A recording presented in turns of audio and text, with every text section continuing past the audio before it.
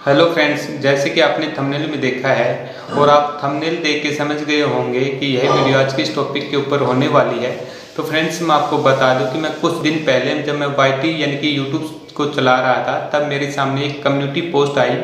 वह community post Anu technology channel की थी, और उन्होंने कम्युनिटी पोस्ट क्यू के लिए कर रखी थी। तो फ्रेंड्स उसके अंदर मैंने कमेंट किया मतलब एक क्वेश्चन किया कि आप कितना समय देती हो YT को?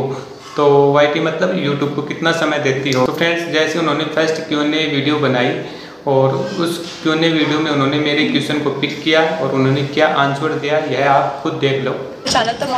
So my next question is from Somvir Kumar आप कितना टाइम देती हो यूट्यूब को?